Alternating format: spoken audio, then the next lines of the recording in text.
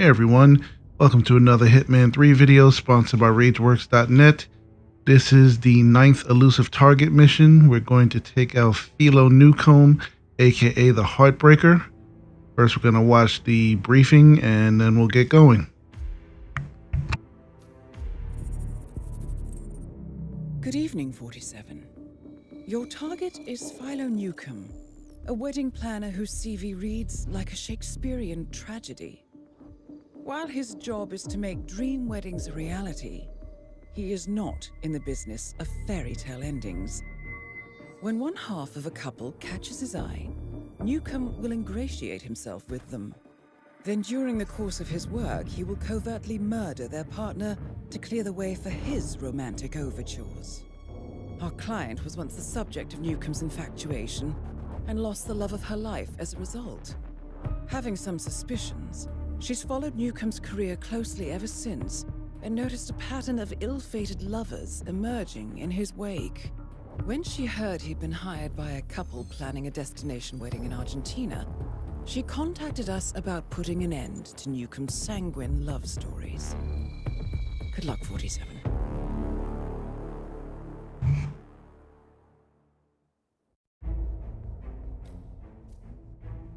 If you were paying attention during the briefing, you'll notice that he killed one of the targets in the church in Sapienza. But um you'll see that I'm taking aside from my suit and my choice of gun, I'm taking almost the same loadout that I did in the last elusive target back in Sapienza.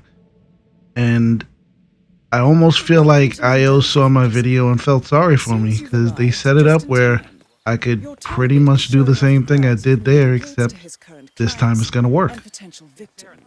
So, of course, we need the invitation.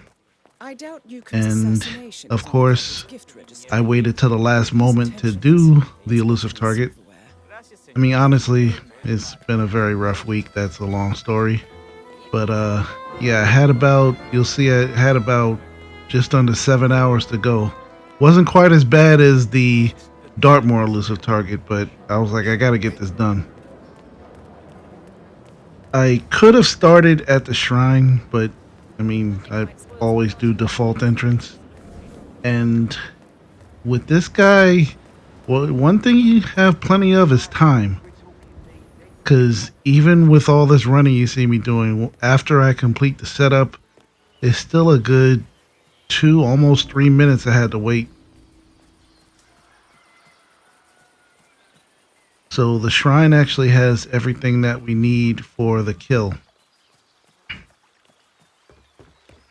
It has my stash, which is the micro remote taser, and it has a propane tank, which again, you saw me take back in Sapienza. I don't have a convenient cafe table, but things are going to work basically the same.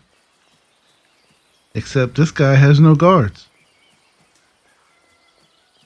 Technically, he kind of has guards, but they're really his clients, and they don't follow him everywhere, which is great.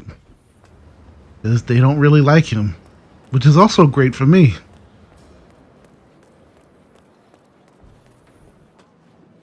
I mean, this guy is a real scumbag, but that's besides the point.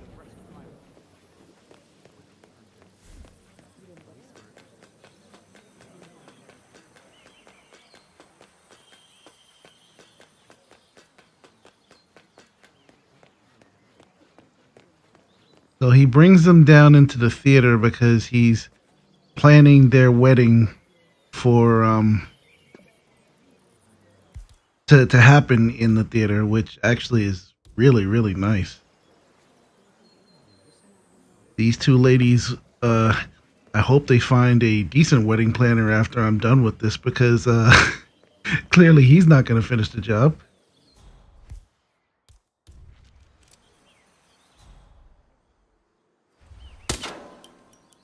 With the sound that that made, I kind of thought that I hit this sculpture right here, but I did hit the, the propane tank. We're going to fast forward here because you'll see as he's walking down the steps with them, he just keeps running his mouth. I did unpause it though because one of the one of the two ladies gives him the greatest burn against his job. Ugh, these flowers are just placeholders, obviously. I'm imagining orange lilies and purple gladioli to play on the sunset Orange and purple? Aren't those like Halloween right. I haven't found It's like just shit on my idea, right? Although those are Halloween colors. That is a really terrible combination for a wedding. Or pretty much any kind of design outside of Halloween. So he sits on the bench because he's frustrated that he can't enamor the the bride. And he never will now. Expect the client's payment and a tasteful thank you card shortly. And the only problem with the method that I chose is it's noisy. So there were these two idiots standing over here. And this lady runs right to where I need to escape because even though I took the Requiem suit, it doesn't look like the shrine exit opened up, which is why I'm walking around like this right now. And then when I realized I still got to do the vineyard, she's right there, and I just didn't want to risk it.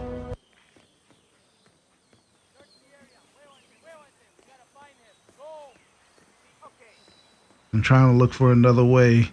Then I figure I'll just toss a coin to make her walk away. And that's when the guards look like they gave up the search. Yeah, I'm here. Got it. I'm shutting down this freak show.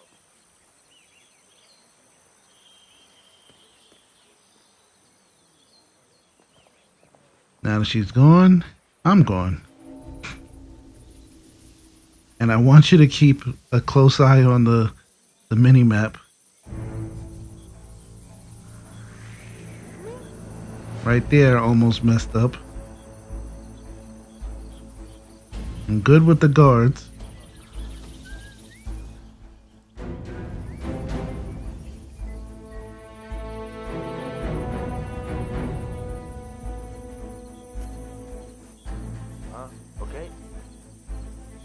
I just messed up this distraction bad. Bingo. It actually did pop that I got spotted.